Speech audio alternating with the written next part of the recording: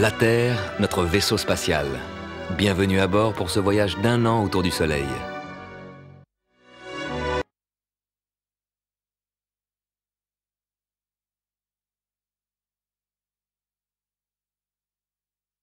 C'est un voyage réel. En ce moment, pendant que vous regardez ces images, la Terre vous emmène à 107 000 km/h à travers l'espace. Nous sommes ici. Nous arriverons dans cinq semaines à cette station solstice d'hiver, le jour le plus court. La Lune, en tournant autour de la Terre, se rapproche chaque mois de l'axe Terre-Saturne. Puis elle se glisse exactement entre la Terre et Saturne, qui est 4000 fois plus éloignée. À de rares occasions, tous les 4 ou 5 ans, la Lune fait disparaître Saturne. Et là, exceptionnellement, grâce à Saturne, vous pouvez voir le mouvement de la Lune en direct. La Lune s'approche de plus en plus de Saturne. Et tout d'un coup, avant que la Lune ne les rejoigne, Saturne disparaît comme effacé du ciel. La planète a été cachée par la partie non éclairée de la Lune. Au bout d'une heure environ, au bord du disque lunaire, à droite, Saturne réapparaît. En regardant avec des jumelles, c'est comme si un petit ballon lumineux s'envolait lentement de la Lune. Ce petit point lumineux, c'est en fait la planète géante Saturne qui réapparaît.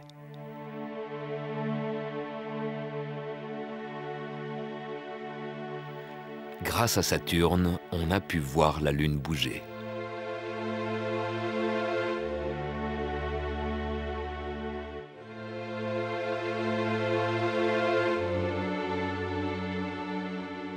Saturne est la plus lointaine des planètes visibles sans télescope. Elle est dix fois plus éloignée du Soleil que la Terre. Saturne met 30 ans pour faire un tour complet du Soleil. Pendant votre vie, Saturne n'aura fait que trois tours. Pendant 15 ans, nous voyons le dessus des anneaux de Saturne. Au moment où la Terre croise le plan des anneaux, on ne les voit plus. Puis pendant 15 ans, nous voyons le dessous. Lors du dernier croisement, en 1995, les anneaux ont disparu trois fois de suite, ce qui montre bien le mouvement rapide de la Terre. Au printemps, la Terre s'est alignée peu à peu avec le plan des anneaux et l'a traversé. Les anneaux disparaissent. En été, la Terre avançant plus vite que Saturne, elle a traversé une deuxième fois le plan des anneaux. Puis en hiver, les anneaux ont disparu une troisième fois. Cette fois, la Terre est passée côté sud des anneaux. Et nous les verrons par-dessous jusqu'au 9 avril 2009. D'où viennent les anneaux de Saturne Et ceux moins spectaculaires des autres planètes extérieures, Jupiter, Uranus et Neptune? Chaque astre, chaque planète, exerce une force d'attraction sur l'espace qui l'entoure. Autour de chaque planète, il existe une limite qu'aucun satellite, ni comète, ni astéroïde ne peut franchir sans être déformé, puis disloqué par les forces d'attraction de la planète. Autour de Saturne, la limite se trouve à 80 000 km, et les astéroïdes qui franchissent cette limite sont désintégrés. La force d'attraction de Saturne tire plus fort sur la partie proche de l'astéroïde que sur l'autre partie. Sous le tiraillement de ces forces différentes, l'astéroïde se disloque. Les débris se cognent les uns aux autres et après de multiples collisions, ces cailloux forment un disque dans le plan équatorial de la planète, un peu comme le plan dans lequel les planètes gravitent autour du Soleil. Si notre Lune quittait son orbite, c'est à 18 000 km qu'elle serait déchirée en morceaux par les forces d'attraction de la Terre. Les débris formeraient un anneau autour de notre équateur. Et en hiver, le Soleil se coucherait derrière un rideau de pierre de lune.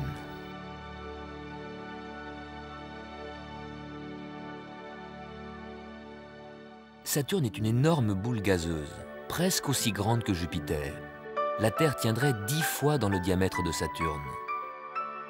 Saturne tourne plus vite que la Terre autour de son axe, en 10 heures seulement. Une boule de gaz qui tourne aussi vite est forcément déformée par les forces centrifuges. Saturne est la plus aplatie des planètes. La Terre, planète solide, est aplatie de 40 km seulement. Jupiter, grande planète gazeuse, tournant plus vite que la Terre, est aplati de 8000 km. Saturne de 12 000 km. On pourrait placer la Terre entière dans l'aplatissement de Saturne.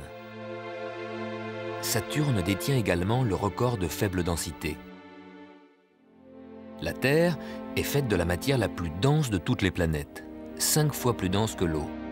Un décimètre cube de Terre pèse 5 kg, alors qu'un décimètre cube d'eau, un litre, ne pèse qu'un kilo. Un décimètre cube de Saturne ne pèse que 700 grammes, ce qui est plus léger que l'eau. S'il y avait quelque part une mer assez grande, Saturne flotterait à la surface, alors que la Terre coulerait à pic. En plus de ces anneaux célèbres, Saturne est entouré d'une multitude de satellites qui gravitent autour d'elle. Le plus grand, Titan, est aussi le plus grand satellite du système solaire. Il a la taille d'une planète, plus grand que Mercure. Titan est le seul satellite à être enveloppé d'une atmosphère, cinq fois plus dense que l'atmosphère de la Terre. La surface de Titan est un mélange de roches et de glace. Il fait très froid, moins 170 degrés. Les lacs que vous voyez, ce n'est pas de l'eau, mais du méthane liquide. Dans l'atmosphère de Titan se forment des molécules organiques de plus en plus complexes. Elles pourraient être au seuil d'une évolution de vie primitive de bactéries.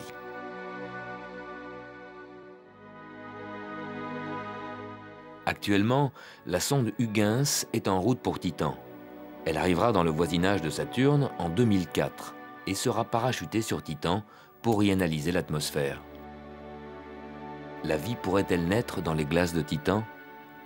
Vous en saurez plus en l'an 2004.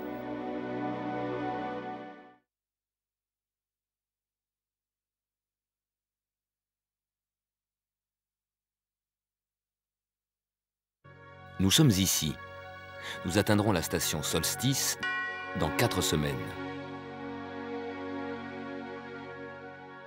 La semaine dernière, vous avez peut-être vu des étoiles filantes, les Léonides. Elles s'appellent Léonides parce qu'elles semblent venir de la constellation du Lion, à mi-chemin entre la Grande Ourse, à gauche en haut, et Sirius, à droite, à peine au-dessus de l'horizon. En réalité, les étoiles filantes poussières de comètes n'ont rien à voir avec les étoiles qui forment la constellation du Lion, des milliards de fois plus éloignées. Les comètes laissent des débris que la Terre traverse. Ce sont les étoiles filantes. Tout près de nous, à une centaine de kilomètres d'altitude, ces minuscules poussières s'enflamment au contact de l'atmosphère de la Terre les Léonides sont éparpillés sur la trajectoire de la comète Tempel-Tuttle, qui à chaque passage tous les 33 ans laisse de nouveaux débris et provoque un renouveau d'étoiles filantes. L'astronome italien Schiaparelli avait observé un passage en 1866 et prédit une pluie d'étoiles filantes pour la fois suivante. Mais il n'avait pas compté avec Jupiter, qui passa près de la trajectoire de la comète. Le champ gravitationnel de la planète géante dévia les particules loin de la Terre pas d'étoiles filantes. Depuis, la comète Tempel-Tuttle est passée plusieurs fois.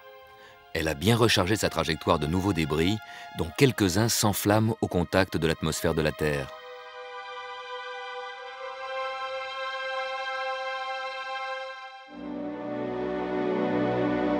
Au cours des millénaires, des tonnes de météorites sont tombées sur la Terre. Nous ont-ils apporté ce qui a déclenché la vie sur Terre? On ne le sait pas. Est-il possible que des comètes ou des astéroïdes aient apporté les éléments chimiques nécessaires pour que la vie commence sur Terre? Des micro-organismes ayant survécu à un voyage dans l'espace, comme des bactéries préservées dans l'ambre pendant des millénaires. Mais il se peut également que la vie sur Terre s'éveille sans apport extérieur, par exemple sous l'effet de coups d'éclair dans un marécage d'eau et de méthane.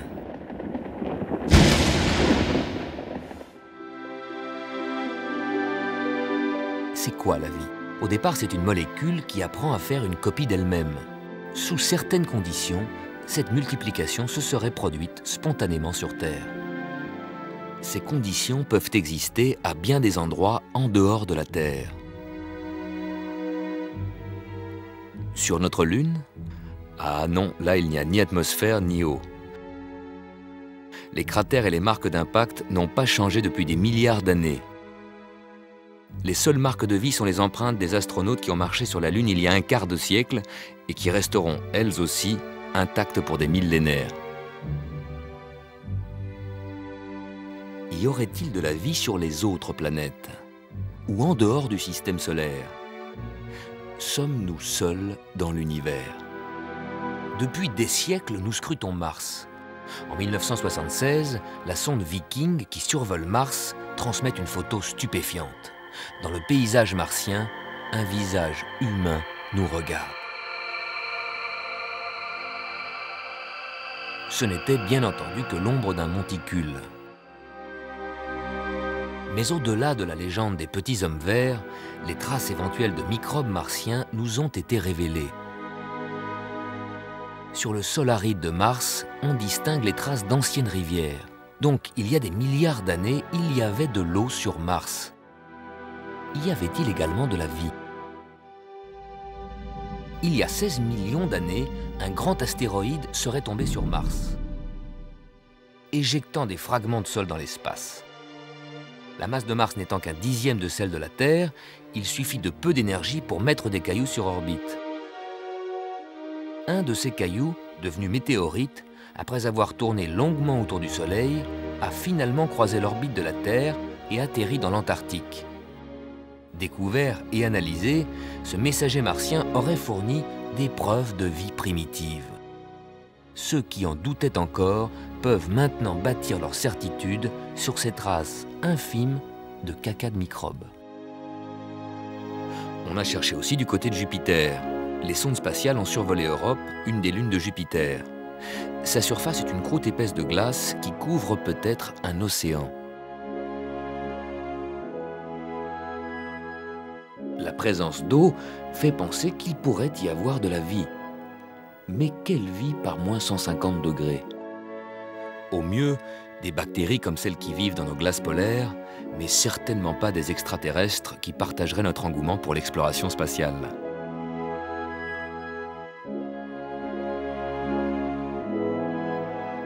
Des sondes explorent aussi Saturne.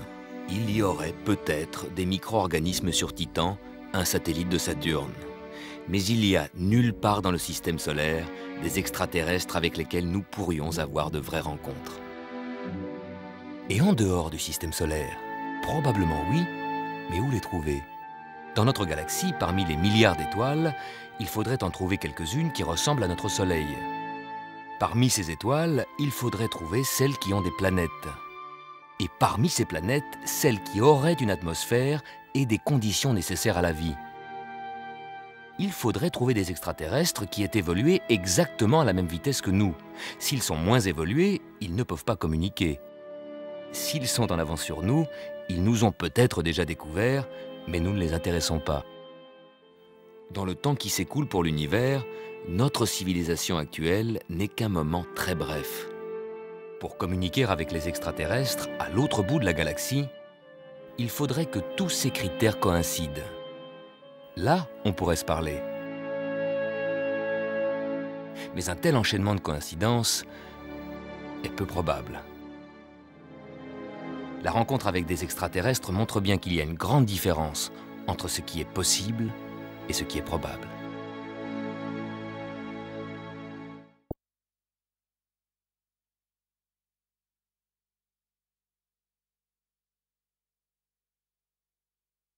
Nous sommes ici. La Terre nous emmène de l'équinoxe d'automne au solstice d'hiver, que nous atteindrons dans trois semaines. L'axe incliné de la Terre pointe toujours dans la même direction, et la moitié nord de la Terre se détourne de plus en plus du Soleil. Actuellement, au cercle polaire, la nuit dure 20 heures, le jour 4 heures. L'horizon, à cette latitude, est presque parallèle au plan dans lequel la Terre circule autour du Soleil. À l'équateur, l'horizon est presque perpendiculaire à ce plan. Le soir, le Soleil plonge à angle droit sous l'horizon. Quand le soleil vient de passer sous l'horizon, c'est le crépuscule. Le soleil éclaire encore un peu le paysage tant qu'il se trouve à moins d'une largeur de main sous l'horizon, 6 degrés. Là où la plupart d'entre vous habitent, autour du 45e parallèle, le soleil met une heure pour descendre à 6 degrés sous l'horizon. Le crépuscule dure donc une heure. Dans le midi, à Tunis ou en Sicile, la trajectoire du soleil est plus raide. Au bout d'une demi-heure déjà, le soleil est descendu à 6 degrés au-dessous de l'horizon. Le crépuscule ne dure qu'une demi-heure. À l'équateur, en 20 minutes, il fait nuit. Au pôle Nord, 6 semaines de crépuscule.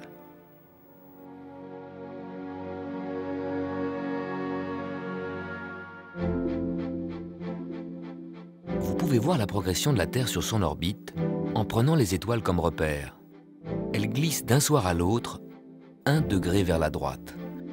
En 365 jours, 360 degrés, un tour complet. C'est en fait la Terre qui circule autour du Soleil. Et nous voyons tous les soirs les mêmes étoiles un peu plus tôt, 4 minutes plus tôt. En un mois, ça fait deux heures. Cette semaine, vers 22 heures, c'est la constellation Orion qui se lève à l'horizon. Les étoiles que vous voyez ce soir à 22 heures, vous les retrouverez dans un mois, en décembre, deux heures plus tôt, à 20 heures. Et en janvier, vous verrez les étoiles exactement à la même place, encore deux heures plus tôt, à 18 heures. En février, deux heures plus tôt, à 16 heures. Et non, à 16 heures, il fera encore jour. Les étoiles seront bien là, mais invisibles, cachées par l'atmosphère que le Soleil illumine. Chaque mois, la Terre passe devant les mêmes étoiles deux heures plus tôt. Deux heures pendant 12 mois, ça fait 24 heures, un jour complet. Donc dans un an, vous verrez les mêmes étoiles à la même position, à la même heure qu'aujourd'hui. Les anciens lisaient l'heure dans les étoiles. Pour vous aussi, l'univers des étoiles peut être une grande horloge. Si vous ne confondez pas étoiles et planètes. Quand la planète Vénus est visible en automne le soir à l'ouest, vous verrez le matin un astre brillant au même endroit du ciel où vous avez vu Vénus la veille au soir. C'est Sirius. On confond souvent Sirius et Vénus, car ces deux astres, très brillants, apparaissent parfois au même endroit. Ils appartiennent pourtant à des mondes totalement différents. Sirius est une étoile. Elle est très très loin de nous. Sa lumière met 9 ans pour nous parvenir. Vénus est une planète. Elle ne rayonne pas, elle nous renvoie la lumière qu'elle reçoit du Soleil. Vénus est très proche de nous. La lumière qu'elle reflète nous parvient en 4 minutes. De très très loin, nous regardons Sirius. Nous voyons l'étoile dans cette direction et nous la retrouverons l'année prochaine, à la même date, à la même heure, dans la même direction. Par contre, la planète Vénus va bouger. Elle est ici, mais l'année prochaine, quand nous repasserons là où nous sommes aujourd'hui, elle sera ailleurs, derrière le Soleil. Pour que Terre et Vénus se retrouvent dans la même position, il faut qu'elles se pourchassent 8 ans. Alors que Sirius, chaque année, est au rendez-vous.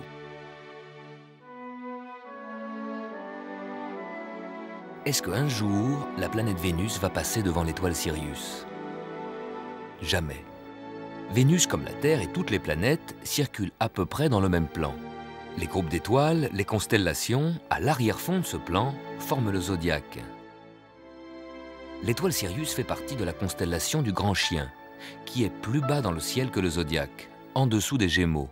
Orion, à droite, est en dessous du Taureau. Vénus, au cours de son périple, passera donc successivement devant les constellations du zodiaque. Taureau, Gémeaux, Cancer, Lion, et tous les autres, mais jamais près de Sirius. Ni près de la Grande Ourse, une constellation bien au-dessus du zodiaque. Comment se fait-il alors que nous voyons Vénus le soir, au même endroit, que Sirius le matin? C'est encore à cause de l'axe incliné de la Terre. Le soir, nous regardons comme ça. nous voyons Vénus à côté de la constellation du Sagittaire. Le matin, nous regardons comme ça. Et nous voyons Sirius apparaître au même endroit dans le ciel. Vénus, à droite en haut devant le zodiaque, ne rencontrera jamais Sirius à gauche en bas. Sur son orbite, Vénus est plus rapide que la Terre. Chaque fois qu'elle nous rattrape, tous les 20 mois environ, on devrait la voir passer entre nous et le Soleil. Mais l'orbite de Vénus est légèrement inclinée par rapport à l'orbite de la Terre. La plupart du temps, Vénus, vue de la Terre, passe donc un peu au-dessus ou en dessous du Soleil. Chaque année, début juin et début décembre, la Terre traverse le plan de l'orbite de Vénus. Pour un alignement parfait, il faudrait que Vénus passe ce point exactement le même jour. Là, nous pourrions voir Vénus transiter devant le Soleil. Un transit de Vénus, c'est donc très rare. Il faut attendre plus d'un siècle. Mais quand il se produit, le suivant vient seulement huit ans plus tard. En 1761, un astronome français, Le Gentil, fait le voyage aux Indes pour voir le transit de Vénus. Un petit point noir qui en quelques heures passe devant le Soleil mais le gentil arrive en retard. Frustré et tenace, le gentil reste aux Indes. Il sait que huit ans plus tard, Vénus, encore une fois, passera devant le Soleil. Pour vous, ce sera en 2004, puis en 2012. L'occasion de voir de vos propres yeux l'ordre dans le désordre des orbites.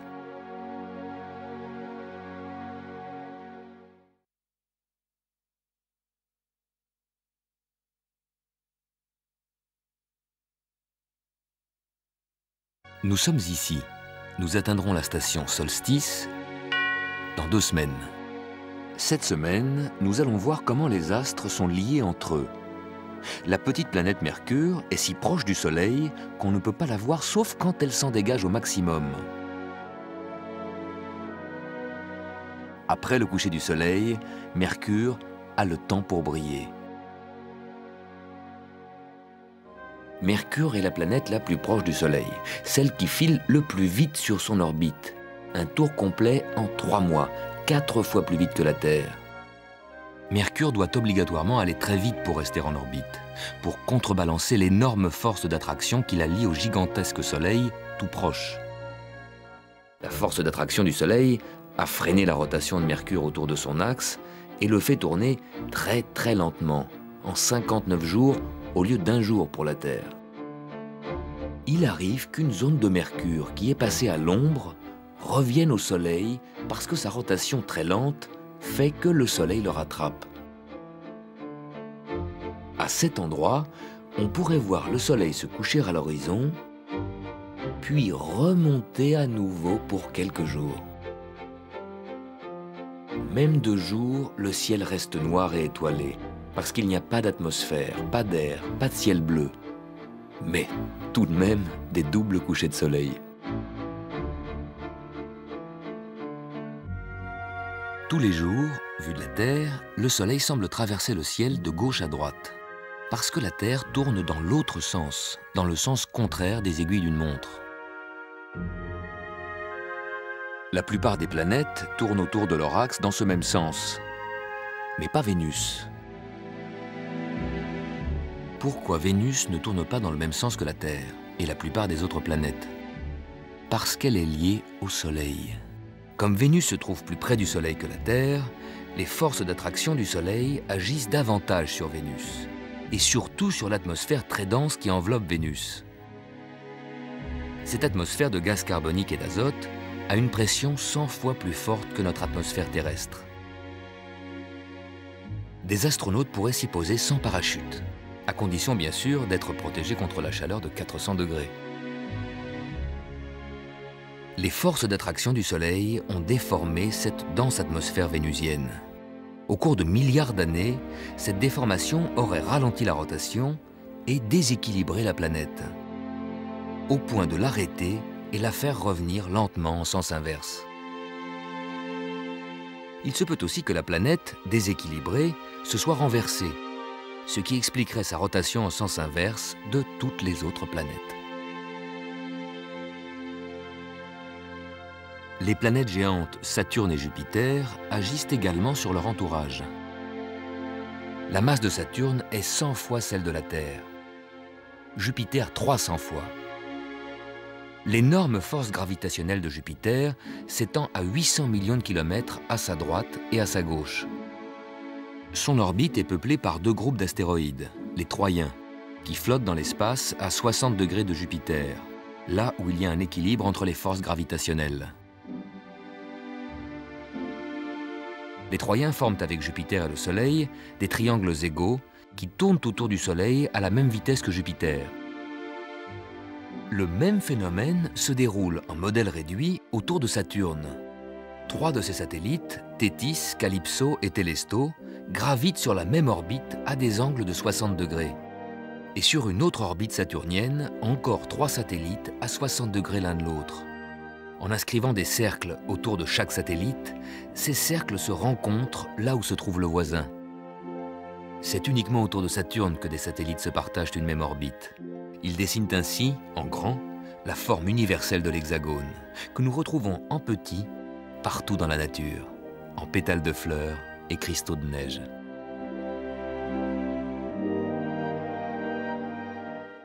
Par sa force d'attraction, la Terre a attaché la Lune et l'empêche de tourner librement. Nous voyons toujours la même moitié, la même face de la Lune. Le Soleil éclaire toujours une moitié de la Lune, la moitié tournée vers le Soleil, en jaune, mais qui ne correspond pas à la moitié, en bleu, tournée vers nous. La moitié tournée vers le Soleil et la face visible de la Lune se recouvrent partiellement. Cette partie, c'est le croissant de la Lune que nous voyons.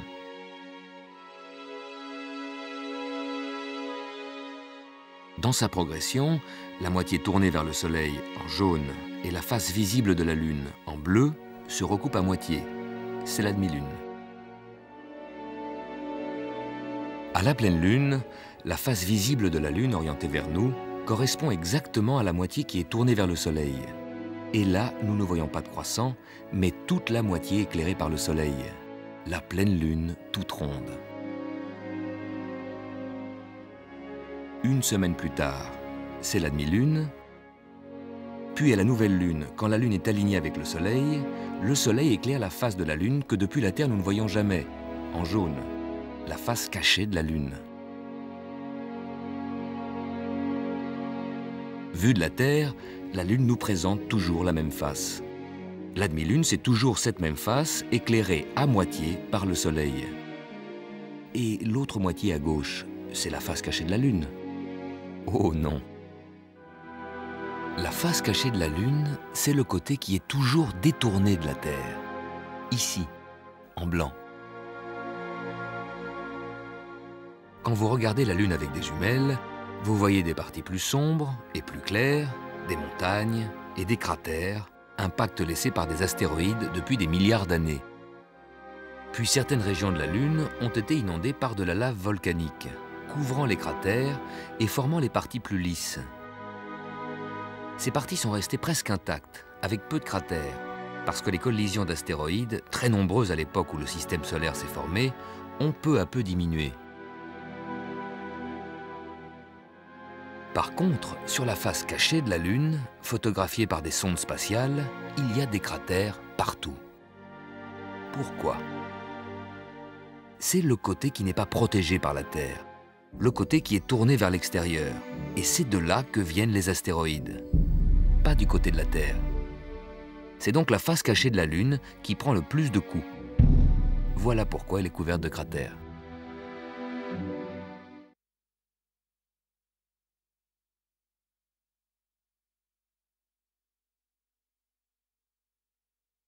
Nous sommes ici et nous atteindrons la station Solstice dans une semaine. Ce week-end, vous pouvez voir les dernières étoiles filantes de l'année, les Géminides, qui semblent venir de la constellation des Gémeaux, mais qui n'ont rien à voir avec ces étoiles. Les étoiles filantes sont encore plus près que la Lune. Ce sont les traces lumineuses des débris de comètes qui pénètrent dans l'atmosphère de la Terre quand la Terre fonce à travers leur essaim. Elles nous indiquent donc la direction dans laquelle la Terre nous emmène. Et quand il n'y a pas d'étoiles filantes, comment savoir où nous allons puisque la Terre n'arrête pas de tourner autour de son axe? la Terre fait le tour du Soleil dans le sens contraire des aiguilles d'une montre. Pour connaître la direction de la course de la Terre, vous devez toujours avoir le Soleil à votre gauche. Dès que vous avez le Soleil à gauche, vous regardez quasiment en avant.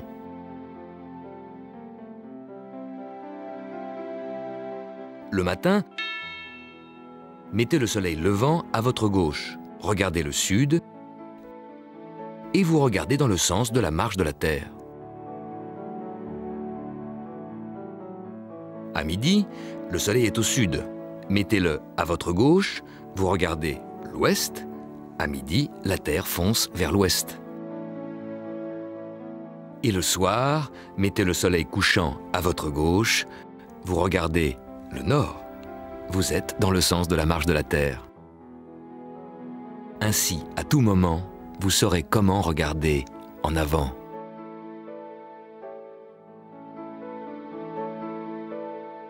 Ce voyage dure 365 jours.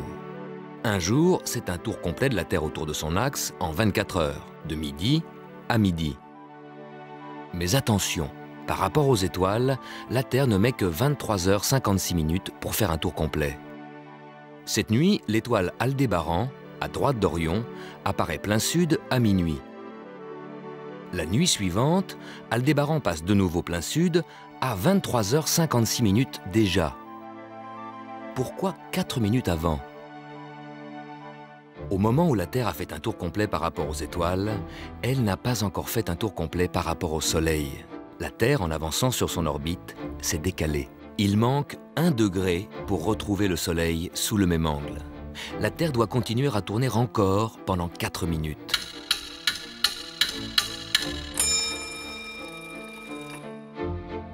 La Terre retrouve les étoiles au bout de 23h56 minutes. Mais elle met 4 minutes de plus pour retrouver le Soleil sous le même angle.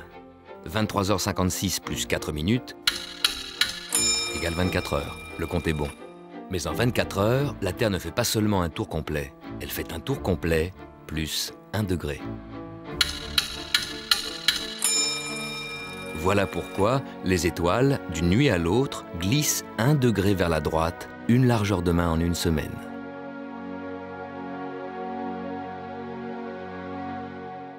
Bientôt, la Terre arrivera à sa position la plus proche du Soleil, le 3 janvier. L'orbite de la Terre est légèrement elliptique. Quand la Terre est plus proche du Soleil, la force d'attraction du Soleil est plus grande. La Terre accélère. Le Soleil semble prendre du retard par rapport à nos montres car la mécanique rigide et régulière de nos montres ne peut pas s'adapter constamment au passage du Soleil qui varie de jour en jour. En décembre, quand nos montres indiquent midi, le Soleil se trouve tous les jours un peu plus à gauche. De jour en jour, il prend du retard. Par contre, les cadrans solaires indiquent toujours fidèlement la position du Soleil. Depuis Louis XIV, les horloges de plus en plus précises ont fait apparaître une différence avec les cadrans solaires, une différence entre l'heure civile et l'heure solaire.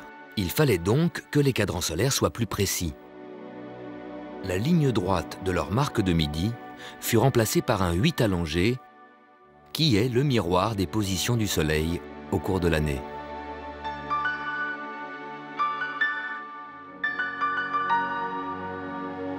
De l'accélération de la Terre, le Soleil semble être en retard, surtout en hiver, l'ombre tombe ici, à gauche. Quand le Soleil semble être en avance, surtout en automne, l'ombre tombe ici, à droite. L'ombre à gauche, le Soleil est en retard sur l'heure civile. L'ombre à droite, le Soleil est en avance sur l'heure civile. En décembre, la trajectoire du Soleil raccourcit la durée du jour raccourcie. Le solstice d'hiver sera le jour le plus court. L'éventail du jour se ferme. Le solstice sera le jour où le soleil se lèvera le plus tard et se couchera le plus tôt. Non. Le coucher de soleil le plus tôt de l'année, c'est aujourd'hui. Déjà. Du 6 au 18 décembre, le soleil se couche tous les soirs pratiquement à la même heure. Mais chaque matin, il se lève une minute plus tard et tous les jours le soleil passe un peu plus tard à son point culminant. Nos montres sont réglées sur une heure moyenne, valable toute l'année.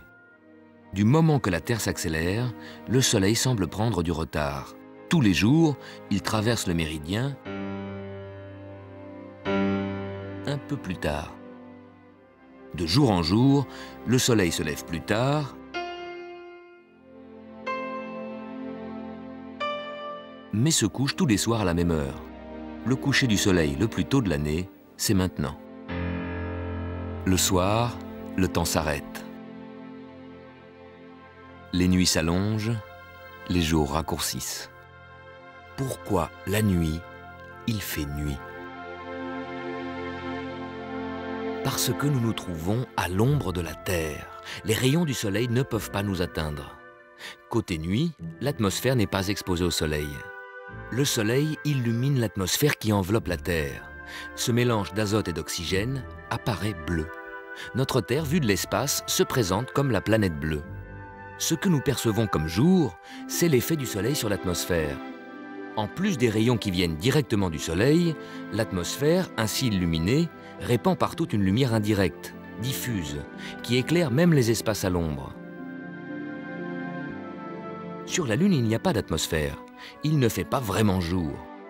Même en plein soleil, le ciel reste noir. Les engins spatiaux sont éclairés par le soleil, mais ils naviguent dans un ciel noir. Les étoiles sont des soleils lointains, visibles, mais trop éloignés pour nous éclairer. Le soleil envoie des rayons de lumière partout, dans toutes les directions. Mais tout ce que nous envoyons, ce sont les quelques rayons que les planètes Vénus, Mars, Jupiter et Saturne nous renvoie. Les rayons de lumière qui n'ont rien à éclairer restent invisibles.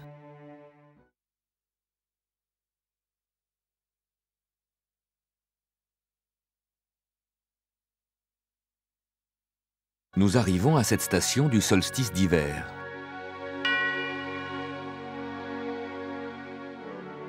Actuellement, l'axe incliné de la Terre fait pencher sa moitié nord dans l'ombre nous passons de moins en moins d'heures au soleil et de plus en plus d'heures dans l'ombre de la Terre. Autour de 45 à 50 degrés nord, là où la plupart d'entre vous habitent, c'est 16 heures d'obscurité contre 8 heures de soleil. La nuit dure le double du jour. Plus au nord, à 60 degrés, Saint-Pétersbourg, Stockholm, Oslo ou encore Edge, 18 heures de nuit pour 6 heures de jour, 3 quarts de nuit pour un quart de jour et à 67 degrés au nord de l'équateur, 24 heures de nuit. Le jour du solstice, le soleil ne se lèvera pas du tout. C'est le cercle polaire. Ces jours de fin décembre, les passagers pour Los Angeles auront deux couchers de soleil et deux levées de soleil.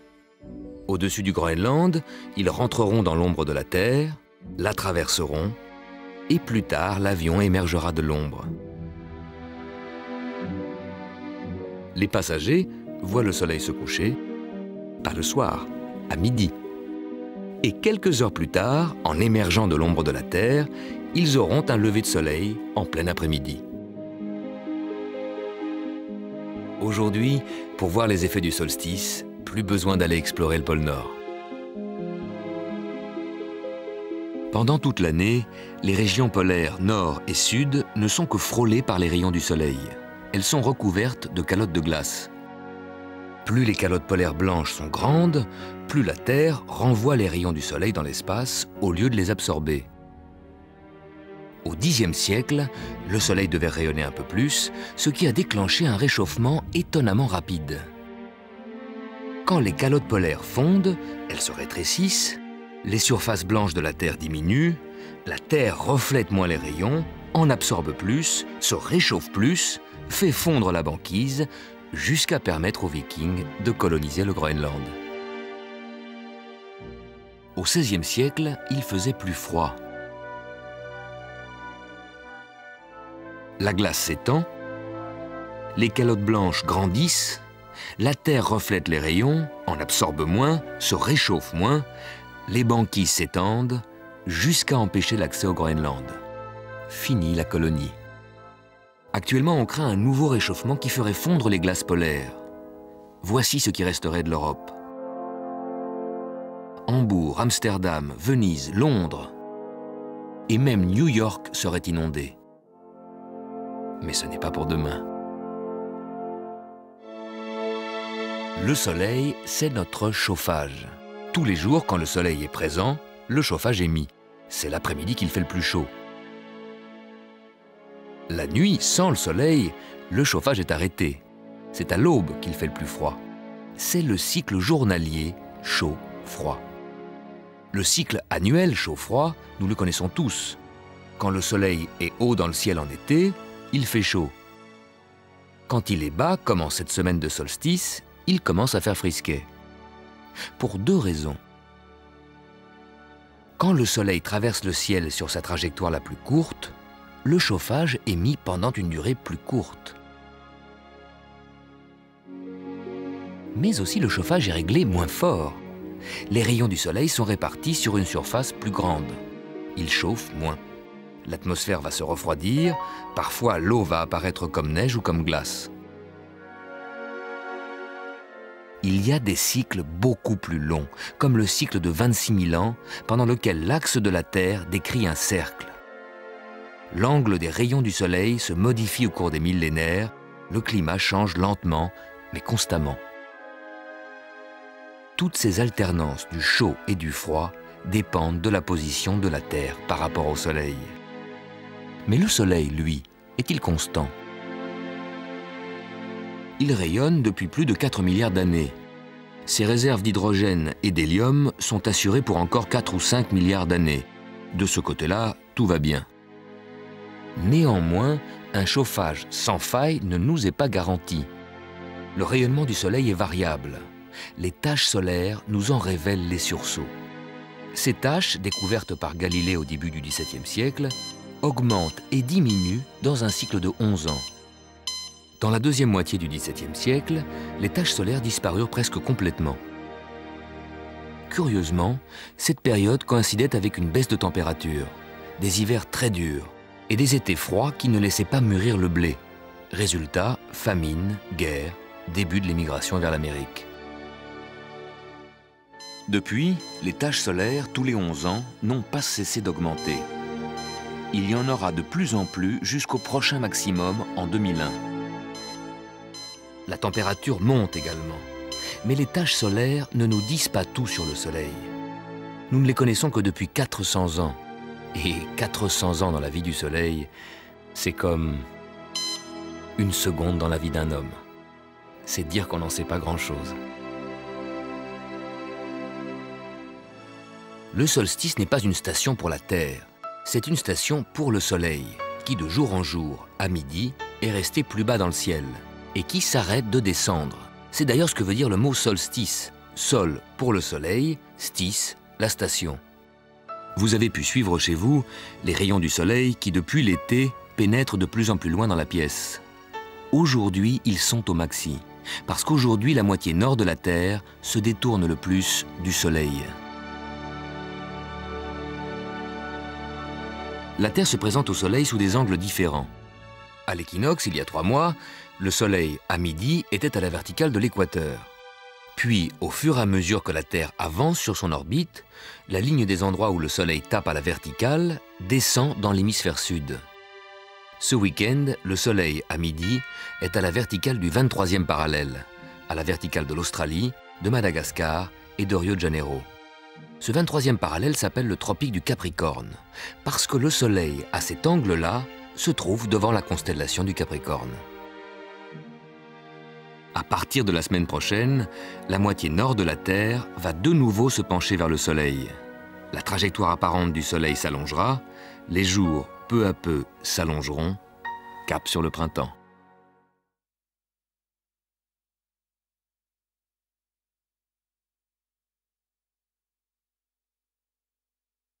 Nous sommes ici, la Terre a passé le cap du solstice. À l'approche de Noël, vous pouvez voir Jupiter bas dans le ciel et Saturne plus haut au sud. La Bible raconte que les trois mages, pour se rendre à Bethléem, lieu où naquit Jésus, suivirent une étoile. Peut-être s'agissait-il d'une conjonction Jupiter-Saturne. À la veille de la naissance de Jésus, Jupiter rattrapa Saturne pour s'aligner en une conjonction d'une durée exceptionnelle. Au mois de mai de l'an 7 avant Jésus-Christ, la Terre était ici, en alignement avec Jupiter et Saturne. Pendant huit mois, la Terre, Jupiter et Saturne restaient alignés. Jupiter et Saturne, pendant tout ce temps, apparaissaient donc en conjonction. Début décembre, Mars s'approchait de cet alignement. Et voici ce qu'on voyait de l'ancienne Babylone, où l'astronomie était déjà très développée. Les mages de Babylone pourraient avoir suivi cette triple constellation à travers le désert. La Bible parle de l'étoile qui marchait devant eux, en effet, tous les soirs, à la même heure, ils pouvaient voir la constellation se rapprocher de l'horizon, exactement dans la direction qui devait finalement les conduire, exactement à Bethléem. Mais la légende de l'étoile de Noël pourrait avoir une autre origine. En l'an 2 avant Jésus-Christ, un astre spectaculaire apparut dans le ciel. C'était en fait Jupiter et Vénus qui s'alignaient avec une telle précision qu'à l'œil nu, ils se confondaient. Des conjonctions aussi serrées sont extrêmement rares. Comment se produisent-elles? Les orbites de Vénus et Jupiter sont légèrement inclinées.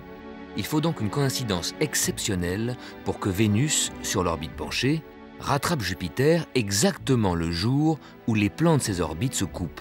Et qu'en plus, la Terre se trouve le même jour dans le même axe. Et voilà qu'un an plus tard, en l'an 1 avant Jésus-Christ, cet alignement rare se reproduit et coïncidence unique de mémoire d'homme, une troisième fois l'année suivante, l'année même de la naissance du Christ. Les astronomes babyloniens, les mages, n'avaient jamais vu ça. On comprend qu'ils aient cru à l'annonce d'un grand événement.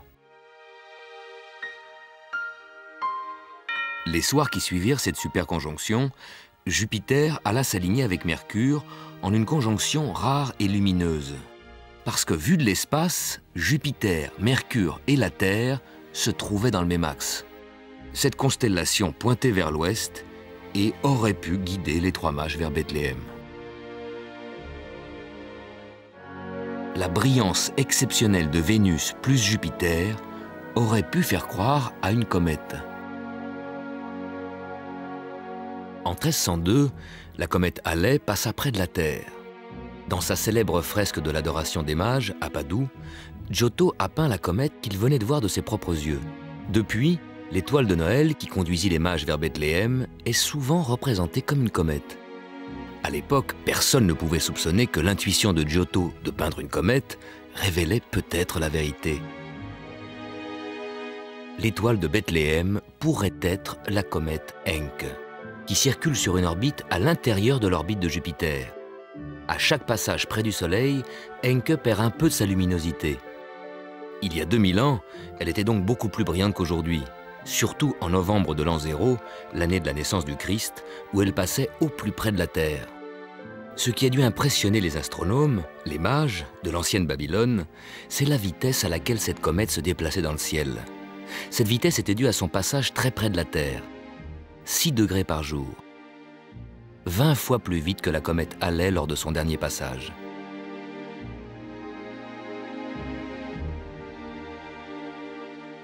Chaque soir, les mages voyaient la comète une largeur de main plus au sud-ouest, dans la direction qu'il faut prendre de Babylone vers Bethléem. Selon la Bible, ils avaient l'impression de suivre une étoile qui marchait devant eux. Sans le savoir, Giotto a peut-être deviné ce que fut l'étoile de Noël. Bethléem est situé à environ 30 degrés de latitude nord. Le soleil se couche au solstice d'été ici et au solstice d'hiver là. Il n'y a pas une grande différence. Le solstice n'est pas un événement important de l'année. Même en hiver, les nuits ne sont qu'un peu plus longues que les jours.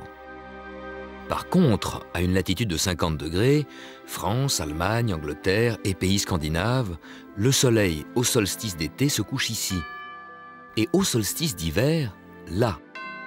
Une grande différence. La nuit dure le double du jour.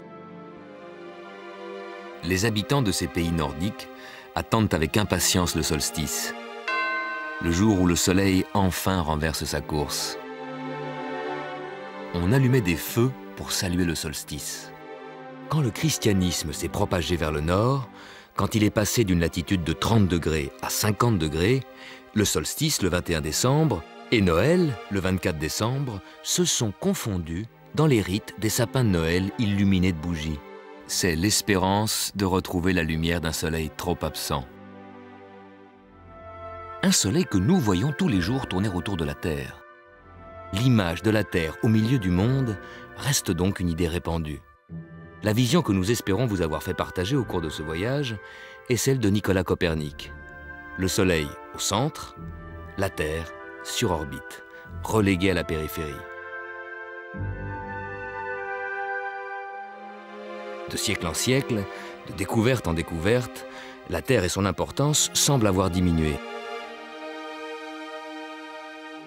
Où sommes-nous dans la galaxie Et dans l'expansion de l'univers?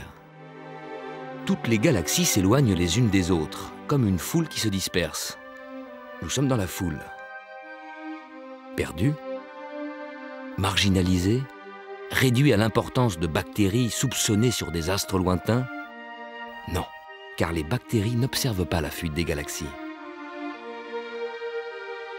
Nous, nous l'observons. Nous en sommes conscients, et de l'endroit d'où nous observons, de notre point de vue, tout s'éloigne de nous tant que nous observons l'univers, nous en resterons le centre.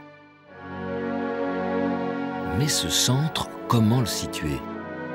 Si nous devions donner notre adresse dans l'univers, ce serait planète Terre, système solaire troisième orbite, galaxie Voie lactée, super amas de la Vierge. Mais sommes-nous réellement au même endroit qu'il y a un an? Par rapport au Soleil, oui. Par rapport aux étoiles, presque, car le système solaire tout entier se déplace dans la galaxie et se dirige peu à peu vers la constellation Hercule au-dessus du Scorpion.